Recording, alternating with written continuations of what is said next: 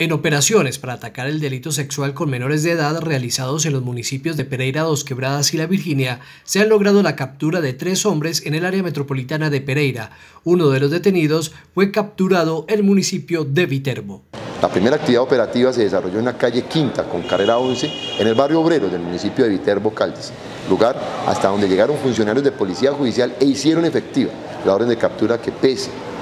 en contra de un hombre de 31 años de edad, natural de esa municipalidad, por el delito de acceso carnal violento agravado y actos sexuales con menores de 14 años agravado.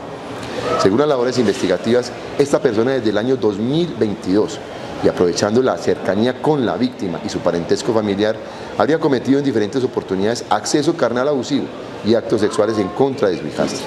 la cual, cansada de estos vejámenes, da a conocer a su progenitora y esta a las autoridades judiciales. El segundo de los casos involucra a un hombre que según las autoridades habría abusado de su propia hija y varias sobrinas. Su captura se dio en el barrio Cuba de Pereira. Por otra parte, en la calle 72 con carrera 26 de la ciudadela de Cuba, fue capturado un hombre de 46 años de edad, natural del municipio de Neira Caldas, el cual es requerido por el Juzgado Segundo Penal Municipal de Dos Quebradas por el delito de acceso carnal abusivo con menor de 14 años y actos sexuales con menor de 14 años agravado. Es de anotar que el hoy capturado, al parecer, venía realizando actividades de tipo sexual por más de 10 años en contra de sus sobrinas y su hija,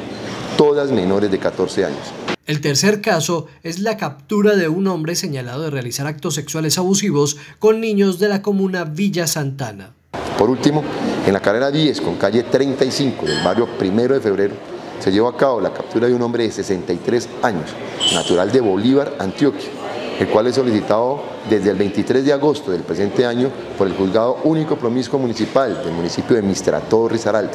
por los delitos de actos sexuales y acceso carnal abusivo con menor de 14 años. Según la investigación, esta persona habría cometido en varias ocasiones abuso sexual contra niños en el barrio El Danubio de la comunidad de Villa Santana, teniendo como modus operandi el llevarlos a realizar labores de reciclaje en su vehículo y una vez en el mismo aprovechar la cercanía para cometer actos sexuales contra sus víctimas menores de 10 y 12 años de edad.